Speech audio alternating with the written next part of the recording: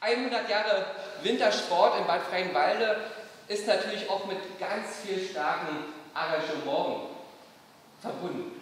Ohne diesen verrückten Engagement wäre das eigentlich möglich, was wir im kurzen Ausschnitt gerade wahrnehmen durften. Aber besonders möchte ich mich beim Oberwarnummer Kulturverein bedanken für diese Einladung, dass wir im 100. Jahr Wintersport in Bad Freienwalde uns hier mal vorstellen dürfen, außerhalb unserer Schanzenanlage, was wir hier auch gerne tun. Und äh, wir werden im Laufe der, des Gesprächs viel erfahren, denke ich mal. Und äh, ihr seid auch an, auf, äh, angehalten, auch mal eine Frage zu stellen, mitzumachen. Also das soll auf jeden Fall sein. An dieser Stelle übergebe ich gerne an unseren Moderator Karl-Heinz Wendorf und heiße ihn herzlich willkommen und er wird durch die, Gespräch führen. Dankeschön. Sportdirektor für Skispringen und nordische Kombination beim Deutschen Skiverband, Herr Horst Köttel. Herzlich willkommen. Hier ist Ulrich Wehling oder Uli Wehling, Zehn Jahre Trainer, Landestrainer, Cheftrainer Stefan Wiedmann.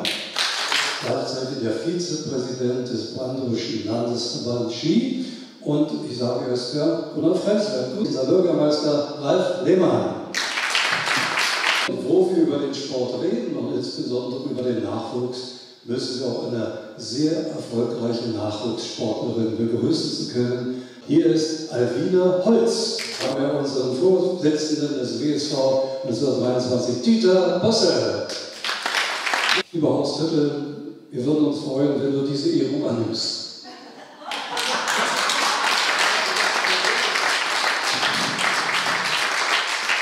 Freue mich sehr, sehr hier zu sein. Danke sehr. Danke sehr. Wenn wir uns mal vorstellen, so die Skala von 1 bis 10 in der Begeisterung, äh, muss ich sagen, da waren wir vorhin bei der 1.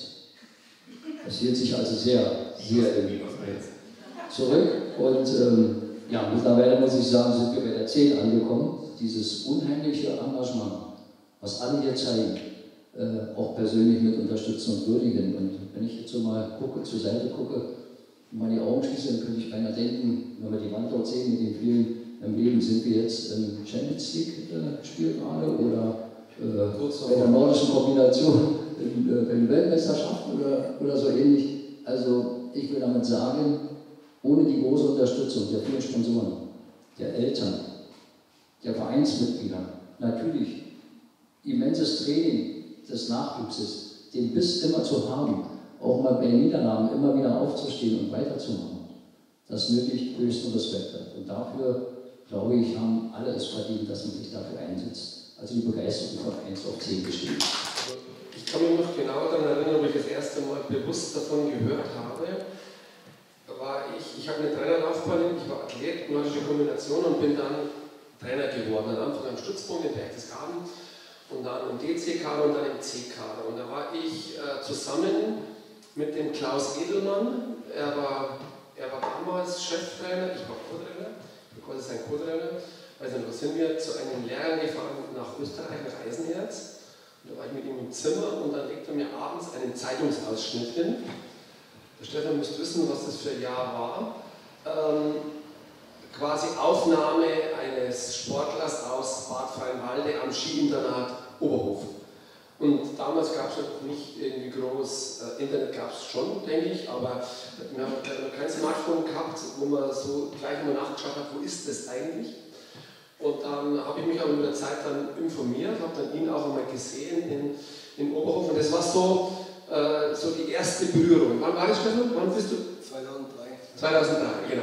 Das war das Jahr, wo der, der Reinhard, äh, das war sein letztes Jahr als Bundestrainer, da war diese für ihn sehr unglückliche Weltmeisterschaft in Italien, dann ist er aber zum Glück des deutschen Skisprungs Chef der Nachwuchs geworden und ich dann im Jahr darauf auch. Und dann war ich, glaube ich, 2004 schon das erste Mal hier, also länger wie 15 Jahre, quasi fast, fast 20 Jahre ist es jetzt her. Und, und dann haben wir uns kennengelernt und so ging es hier los und ich muss sagen, ich habe äh, von allerersten Augenblick an gedacht, mein Gott, ich sage das immer so ein bisschen auf salopp bayerisch, mein Gott, sind die verrückt hier. Was, was, was tun die hier alles und, und, und mit einer Euphorie und, und er mal den dritten Schritt vom ersten und gedacht, okay, da waren glaube ich damals nur die kleinen Schanze oder die zwei. Genau. Aber viele Kinder, viel Engagement und viel Herzblut. Und, und da habe ich schon gedacht, ja, das, das ist interessant und, und war für mich, oder ist für mich neu gewesen, so, auf eine andere Stufe stellen. Also wir hatten jetzt äh, vorgestern eine, eine Sitzung der Kommission und das ist wirklich entschieden worden, aber äh, für uns jetzt, also für mich jetzt nicht so überraschend, aber, aber für die Akteure vielleicht schon, dass die Albine, die hier da sitzt und äh, der Max Unglaube äh, in den C-Kader berufen worden, Skispringen.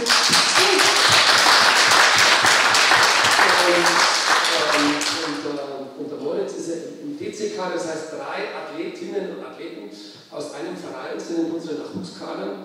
Ich muss jetzt mal reinschauen in unsere Kaderlisten. Äh, äh da gibt es nicht so viele Vereine deutschlandweit. Ich sage mal, je jünger, desto besser, weil sich motorische Sachen einschleifen. Aber das Prinzip ist ja, man muss frühzeitig mit Sport beginnen, man muss sich begeistern für Sport. Weiß nicht, dann ab da wollte ich unbedingt Skispringen. Und dann hat es noch ein halbes Jahr gedauert, dann war ich angemeldet für den Sprungkurs für jedermann im Laufschattenturm. Da kann jedermann einfach mal von der Schanze springen. Und das habe ich dann im Oktober gemacht, kurz nach meinem 14. Geburtstag. Und ja, es war so schön, wie ich es mir vorgestellt hatte, das Skispringen. Und dann war ich eine Woche später hier bei der Landesmeisterschaft. Und ja. Wo ist Landesmeister? Nein, da ich nicht. ja, und dann eine Woche später bin ich dann hier beim Training aufgetaucht.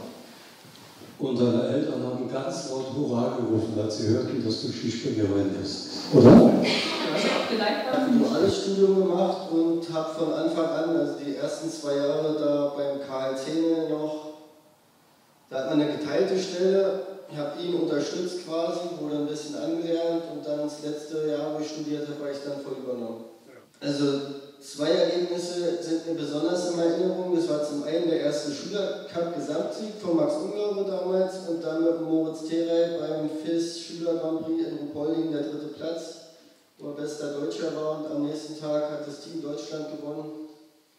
Also war ich auch als Trainer mit bei, da war ich auch mit für andere Sportler verantwortlich und so das erste Mal für so ein deutsches Team da verantwortlich zu sein und dann gewinnt ein Sportler da Bronze und Gold, das war schon echt cool. Ja. Ähm was man hier natürlich nicht unter, also, äh, unter Scheffel stellen darf und, und richtig beleuchten muss, ist, der Uli war wie viel, ein Jahrzehnt Renndirektor der FIS. 15 Jahre? 20. 20 Jahre Renndirektor der FIS, neben seiner aktiven Arbeit also maßgeblich die, die Geschicke der nordischen Kombination äh, geleitet mit Formaten, mit Ideen, und, und mit Inspirationen und, und habe damit die nordische Kombination zu dem gemacht, was es jetzt auch ist und, und wo seine Nachfolger davon profitieren. Auch wenn jetzt mit IOC und so ein paar Probleme hier auf dem Tisch sind, die, die, die nicht einfach sind, ist ein ganz anderes Thema, weil sich einfach medial Dinge verändert haben, aber, aber den Sport an sich, die Popularität des Sports, da hat jeder Athlet, jeder äh, äh, äh, Erik Frenzel oder Rieber oder Rütschek, dir viel zu verdanken. Und eine Woche später ist der Nordcup im Oberhof, eine Woche später ist unser Wettkampf und eine Woche später sind wir in Einbruch. Äh, stolz bin, hier mit äh, dabei zu sein und dass äh, ich wünsche und hoffe, dass all das, was man sich vorgenommen hat, und man hat sich schon viel vorgenommen und vielleicht noch mehr vornimmt, dass das irgendwann mal in die Richtung geht, was hier schon bei den einen oder anderen angesprochen wurde, und äh, soweit das Knie in der Lage ist, man ist ja auch nicht mehr der Jüngste, kann ich da auch das eine oder andere noch mit unterstützen. Kultur Sport, können wir sagen. Der Oberbayern Kulturverein gemeinsam mit dem Wintersportverein, ich denke, das zeigt ja auch, wie im Verein in dieser Stadt auch zusammenarbeiten, heute hier gemeinsam dieses Foyer Recht herzlichen Dank.